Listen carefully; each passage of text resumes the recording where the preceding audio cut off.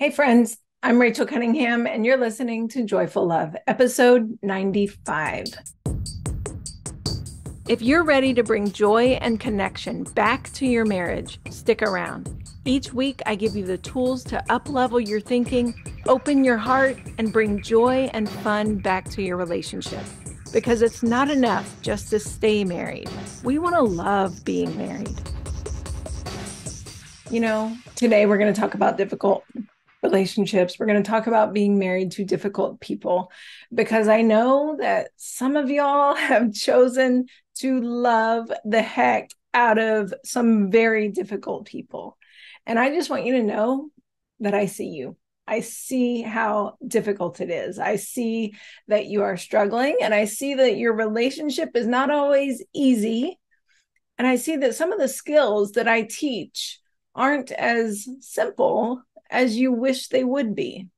And if you're like, yes, Rachael, thank you. Those are my thoughts exactly. I am married to a very difficult person. My my situation feels unique. I want you to know that this is the episode for you today. So, before I go on, I'm going to put out a disclaimer on this episode as I do occasionally when I talk about extremely challenging is- issues. I'm not talking to the person who is in a physically abusive relationship right now. I'm not even talking to the, the person who's in an emotionally abusive relationship. Let's just include all the abuse, right?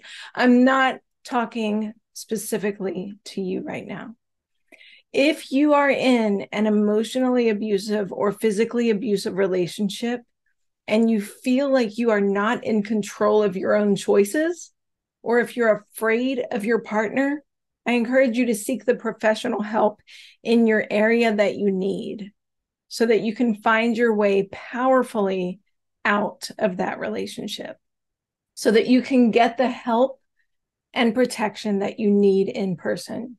You deserve that help. Now that I've said that, you don't have to be in an abusive relationship to be married to a very difficult person. You might be married to someone who struggles with depression. You might be married to someone whose brain works very differently than yours, and you have a hard time understanding and relating with them. Or maybe your partner has a physical disability. Maybe they're in a wheelchair. Maybe they've got some physical health issues that are really difficult and it requires you to care for them in unique ways that that maybe other people don't have to do in their relationships now, you've heard me say before on here that I don't ever want you to make a decision to stay in your marriage out of guilt or pressure, right? Not from your family, not from your friends or religion, or heck, even me, a marriage coach. Don't stay in your relationship because of any uh, any guilt that you feel or any pressure that you feel from anyone else. That is not anyone else's decision to decide for you right? You are not defined by your marriage. Your worth is not somehow better if you stay in your marriage so that everyone else can think highly of you. Okay. Only you can decide whether to stay in your relationship or not. And I want you to own that. I want you to own that it is okay to leave and it is okay to stay. That is also a powerful choice. There's also a lot of messages out there that say if anything is a little bit difficult or even a lot difficult in a relationship, you should just check out and leave. No, neither one is anybody's business except your own. you get to discover what is best for you. You get to make a powerful decision for yourself. But today, since this is a marriage podcast and not a divorce podcast, I'm going to assume that at least a part of you wants to stay. For now, you are choosing to stay married for whatever reason that's unique and special to you. You're choosing to stay with this person. You're choosing to stay with this person because they're your person, right? You feel it in your heart you love them because when you said your vows, when you said those words through thick and thin, through sickness and in health, you knew what you were doing. And you're deciding to honor that because it feels right. Mm. I did not expect myself to get emotional there, but it is such a beautiful thing to say those vows to someone and to be all in, even when it's more difficult than you knew than you ever expected, right? If that's you, if you feel it in your bones that you're like, I want to stay with this person, and yet it is so difficult, I'm talking to you today. So, this is for those of you who are choosing to stay married but your reality is that you're married to a difficult person again depression mental and physical health struggles and and even a partner who might have unresolved trauma from their past. And their relationship skills suffer because of it. I'm raising my hand here by the way. I'm one of those difficult per- people sometimes to be in a relationship with. And sometimes my husband is one of those people to be that is difficult to be in a relationship with. We both have trauma that we're continuing to heal from, right? So, but these are all, you know, physical, mental, trauma, all of these things can make it very difficult to be partnered with someone for life if this is you, I encourage you, first of all, like this is the first thing I want you to do is to read the book Codependency No More by Melody Beattie. One of the things that she says in her book towards the end is that you get to choose who you love in this life. Just make sure that you are loving them from your strengths and not from your weaknesses. It can be really easy to try to love and care for someone from our own weaknesses right? We can we can make choices that are that are based on our own wounds and and we can you know we have this this wounded filter that kind of filters everything in and, and we end up you know because of our own fears and our own inadequacies and insecurities we can we can often overextend our help to others when we feel responsible for their healing, right? That's one way that we can love someone from our weaknesses instead of our strengths. We can also avoid asking for help or setting boundaries out of fear that, oh, that person can't handle that right now, right? Because of where they're at, they can't handle anything. So I'll just overdo and overdo. This creates a codependent relationship. And it can be confusing and exhausting to know when to offer extra help and when to step back and trust your partner with their own journey. So that's a really good book, Codependency No More. And, and that idea that we are going to, if we are choosing to love somebody, we are going to do it from our strengths, from our power within, not from our weaknesses to know how to do this, you have to dig deep and do your own healing so that you can pause and reflect and respond from a whole and healed self instead of your own wounded self we all have to do this to a certain extent but when when you have a partner that's struggling with something to an intense level you have to dig even deeper into your own healing if you want to make the relationship work so, we're going to talk about a few tips and questions today that you can ask yourself to get started on this healing journey of, of loving your partner from your strengths and not your weaknesses.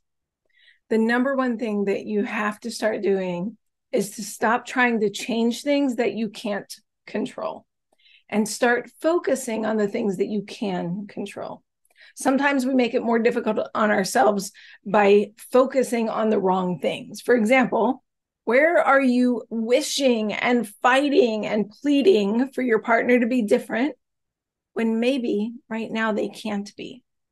So, is there something that you need to accept that this is just the reality right now? This is who they are. This is what they're dealing with. This is the struggle, and I can't fix it and instead of trying and fighting and and and struggling to fix it can you learn to work with it instead of fighting with no solution you know a strange thing happens when you accept the things that you can't change you actually start loving your partner fully including the parts that they struggle with you embrace them Your love becomes unconditional in a brand new way. You might even see some beauty in it, right? For example, you might, if your partner has ADHD and forgets everything all the time, you might see how your partner's uh, neurodivergency works for them in some ways. And you might be like, oh, I love this about my partner. I love how much they can focus in this, this specific area, right? It's beautiful. And you might start like really appreciating that more. Or you might see how your partner's occasional depression encourages you to slow down and and start reassessing what matters or you might see how your partner's forgetfulness is an opportunity to communicate better and to understand each other better if you can radically accept your partner for who they are right now you might even start seeing that they're not as difficult as you once thought maybe just wishing that they were different instead of working with who they are is what's making it so hard. It's like there's so much good on this side, but you're not even seeing the good because you're so focused on trying to fix the negative. So ask yourself, what am I fighting against? What am I wasting my time on? What am I not accepting? What part of them won't or mm. can't change? in one of John Gottman's studies on relationships, he found that even in the best marriages, 69% of the problems that couples face don't actually get fully resolved. These are the issues that that have to do with our, you know, our individual makeup and our personalities and personal hangups or pet peeves. Now, before you feel hopeless on that study, that 69% of your problems probably won't be resolved. Um, it's it it's not a reason to be hopeless. It simply emphasizes the idea that couples must learn to manage their conflict instead of trying to eliminate it right? It's like, oh, we have this conflict. Let's figure out how to manage it better instead of completely eradicating it, right? In other words, Stop trying to control what you cannot control and focus on managing what you can control. So ask yourself if this is how my partner is, if, if I cannot change it, what is in my control? What can I ask for? What can I do differently? Is there anything that I can change to make this part of our lives even simpler? This is not giving away your power. I want you to know this. This is not giving away your power. It's the opposite of it. Trying to control what you cannot control is wasting your energy and giving away your power. But focusing on what, what you can control and what you can do and what you can ask for and what you can change is stepping into your power. It's being wise about what you focus your energy on. It puts you in the driver's seat of your own life.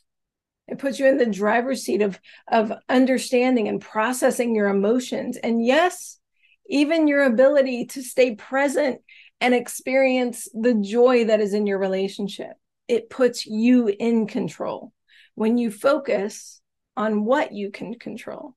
So another thing that we do is is to get annoyed at our partners for doing the things that we often do ourselves. Right? We often mirror each other. So instead of getting upset at your partner for not, let's say, caring for themselves or not picking up after themselves, where might you need to care for yourself more? Where might you need to pick up after yourself more? Even if it's in a totally different area than your partner, can you look within first and say, where, you know, I'm really judging my partner for this. I'm criticizing their you know their habits and their their struggles in this area. But where am i the same? Where do i do the same thing that my partner does? This happens so many times you guys. So many times we we we want to shift blame and we want to say well if they would do this then it would be easier for me to to fix this area in my life can we stop doing that and just focus and say, oh, this is an area in my life that I struggle with too. Let me figure out how to fix that first, right?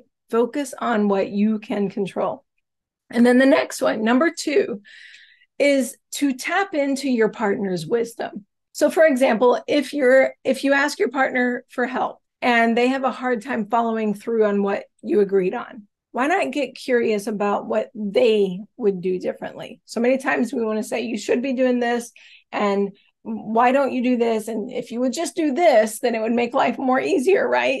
we want to just like be the one to like put forth all the suggestions. But what if you took a step back and just said, hey, you are a very wise person on yourself. You know more about yourself than I do. I, I'm curious. What do you think would help in this situation? Right? What am I not seeing that maybe you are?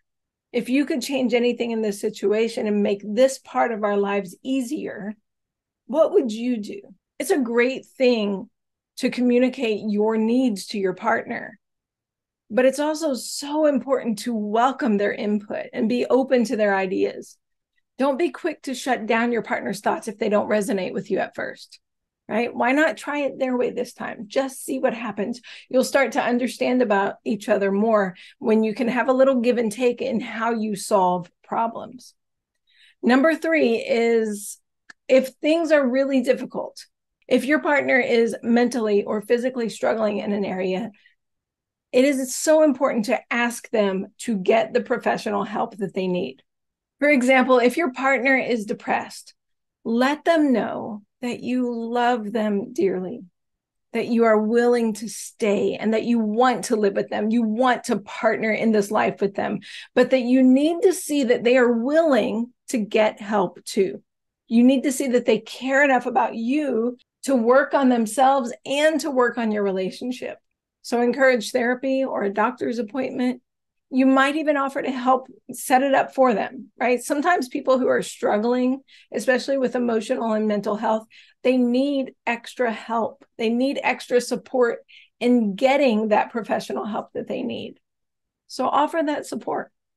And if they refuse, this is so important, you guys. So many times I've, um, you know, I've, I've coached clients who are really asking their partners to get help. And their partners want to put it off and put it off and put it off. So you need to have a plan in place if that happens. If they refuse, you're going to need to have a boundary in place for you to uphold for yourself. That boundary that you uphold might be something simple like, or maybe not so simple, but something big like you're going to have an intervention with family and friends, right? To, to back you up next time and to request them to get help. It could mean that you're going to ask them to move out until they might get the help that they need, or it might be something smaller than this. Think about your unique partner and a boundary that would actually be helpful. A boundary is not to come from a place of judgment or to, to create harmful, you know, ultimatums. Good boundaries actually help you to step into a powerful position of caring for yourself and encouraging your partner to care for themselves. A boundary is caring and loving on the on the utmost level. A boundary is caring and loving and moves you towards a solution, not just like to a big fighting fest, right? So, okay, lastly, number 4 is to focus on and highlight the good often. Right? You are choosing to be in this relationship with someone who's not always easy to relate with. When relationships are difficult, it can be easy to brush aside the good and ignore them and stop appreciating each other and to forget about what you love about them. So remember to welcome in appreciation and go have some fun with your honey often. Okay, go have some fun, appreciate each other, tell each other the small things and the big things that you appreciate. Okay, so to tie all of this together, to tie these four tips together, I'm going to tell you some questions. I want you to write them down and actually answer them. Right? Don't just kind of go, oh, those are great questions. I should get to them later. Ask yourself these questions, write them down. I've said it before, I've I'll say it a million more times. When you write down the thoughts and the the answers that your brain gives you and that your heart is speaking loud and clear when you write it down, it's a powerful way to change and to actually implement the things that you need to implement. So here's some questions to ask yourself. What are some things, number one, what are some things about my partner that I can accept and stop fighting against? Number two, where can I manage this situation better instead of trying to change something I can't change? Number three, what are some areas that I still need to do some healing in, just like my partner? In other words, where are we mirroring each other's habits and behaviors? How can I be an example of what's possible in this area? That was like several questions in that number three, but that's okay. I'm actually going to write down these questions in the show notes on my website. So you guys can go there and, and get those these questions. Okay, number four, what is my plan for getting help where we both or I specifically need it? Where where am I going to get help in this? Because again, you guys, we do not have to do this alone right? If you are in a very difficult relationship, why not go get some help for it? Okay, number five, does my partner need professional help? If they do and they and they refuse to get the help, what is my personal boundary that I will uphold next? Number 6, what is good about my partner this week? How can I appreciate the good in both of us? Okay, these tips and questions are going to help you to step into your power again in the relationship. They're going to help you to love bigger from your own strength, not from your weaknesses. Okay, that's what I have for you guys today. Reach out to me if you'd like my help with any of this. And if you know someone who could use these tips because they're married to a difficult person, I invite you to share the love by sharing this episode. Okay, I'll see you guys next week. Thanks for listening to Joyful Love. If you'd like to know more about my work, come visit me at rachaelcunningham.com. That's Rachael spelled with an A E L, cunningham.com.